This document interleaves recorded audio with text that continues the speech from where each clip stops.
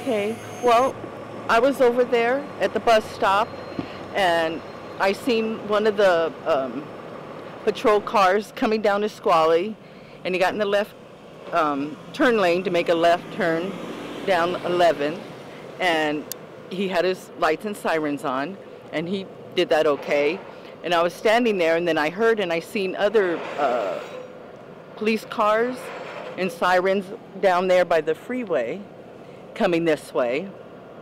And then I seen two more uh, um, patrol cars coming this way on Down 11th. 11th, okay. Yeah, coming down 11th, and they they had their lights on, and they stopped at the intersection, and they um, they did their sirens, and then they came through, and everybody else was stopped. There was cars in all the lanes, and everybody stopped. And for some reason, the that the little black car, I'm not sure if it slowed down or stopped, but it did come through the intersection. After all, it was in the very far lane here by the curb, and it came through the intersection anyways after the police officer was already coming through the intersection, and they hit, and then you know they got turned around, and that the little car ran right into the tree, and that was basically it. I